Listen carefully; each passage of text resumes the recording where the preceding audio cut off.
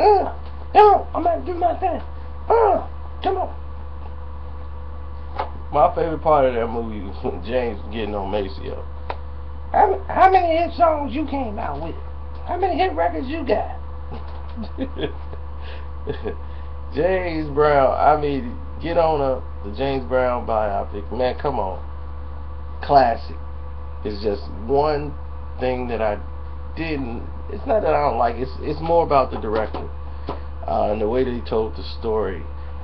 I like how it it was done in a typical format. You know how they looking in the mirror in some dressing room, and then they they go back and reflect on their life. I'm just sick of that. It's like it, you didn't have to do all that. We we know that you want to show and just show your range of uh, as a director, but that's been done so much. It's like so many different ways you could do it. Than to do it that way. The long walk down the hallway, the look in the dressing room, bam, we back to childhood. It's like, come on. Show show more depth. Um as far as the story though, it's epic. Epic. James Brown's story is so vast though. I think they kinda took it mild as far as on the on the thresholds. They didn't want they got they kinda like nipped the surface of the darkness of James when he started to, to descend and what made him descend, they kind of glossed over it and just made it like a one word reference to it. And it was it was mostly focused on the greatness of James. And James Brown is in every artist, even today. And that's the truth. James Brown is everywhere. From Chris Brown, if you like Chris Brown, Breezy, that's James Brown. Michael Jackson, James Brown, Prince, James Brown, all of that, the funk. Anybody doing that is James Brown.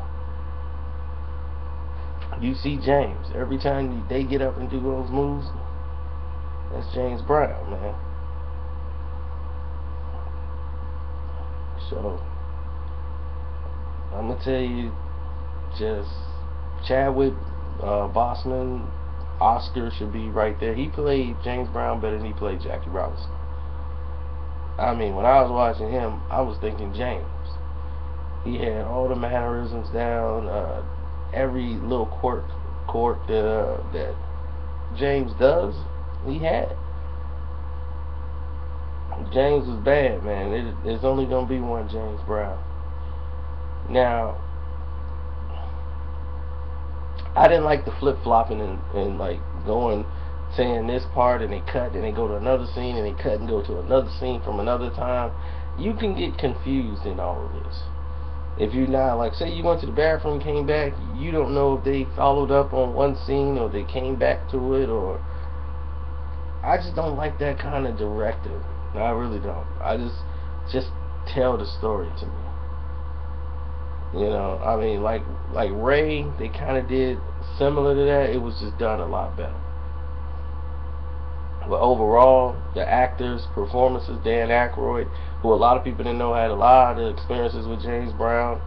Um, he's in the Doctor Detroit movie. James Brown has a cameo in there with Dan Aykroyd plays Doctor Detroit. They have a great dance scene with uh, James Brown doing "Get Up Off of That Thing." like a remix to it just for the Doctor Detroit movie. So, I mean, for him to play the promoter slash manager for James Brown when James first got started, I mean, that said a lot, you know. That really did say a lot, and the fact that him and Bobby was very close. But let me go into the reason why I don't do really movie reviews anymore. Uh, and it's because I didn't want to support the agenda that the films were sending out, especially about us. Uh, it's just that we're not getting our proper due in films. You know, they do a film like uh, in New York City, and you see like there's no people of color around unless they're driving a cab, or you know, it's typical, stereotypical. We're either the comic relief, we're either the drug dealer, we're either the criminal but in reality, we're educators, we're police officers, we are everything that you guys are. We educators, you know, so I just don't understand the need to push a certain agenda. You know, we're not all homosexuals. We're not all trying to kill people. We're not all ignorant. you know, we we actually do the same things that everyone else does. And New York is like the biggest gumbo pot of all nationalities. But yet, when you watch movies, Sex in the City, nothing but white people walking around. But when they have like a 0.3 percent African American in movies, why does that character need to be gay? Like, what made this character gay, and what made you give the 0.3 percent character in the movie to the black person, and he has to be gay, the character? You know, I've I've had actors tell me, African American actors told me that they turned down so many roles because they say, "Oh yeah, and in this role, at this point, the character admits that he really was gay," and they say, "I'm sorry, I can't, I can't do that because that's it makes no sense with what's going on in the store. It just ruined his whole character." And then they just be, "Okay, fine, we'll get someone else." until they find the Negro that's to play that role.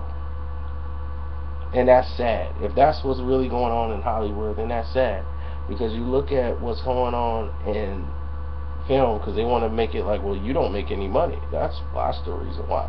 And the major um, market companies who who will tell you that, oh, well, we can't push your movie overseas.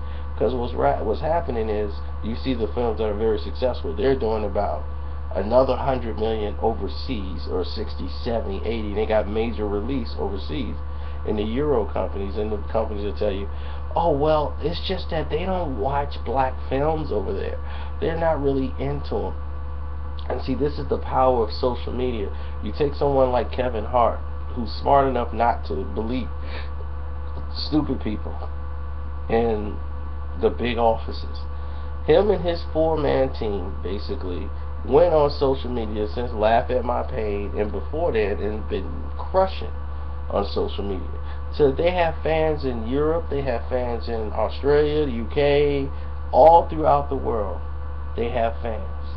And those fans are saying, we want to see Kevin Hart. We love Kevin Hart. We want this, we want that. And then you show those to the executives, and what they're going to say is, well, that doesn't translate over to dollars and this and that.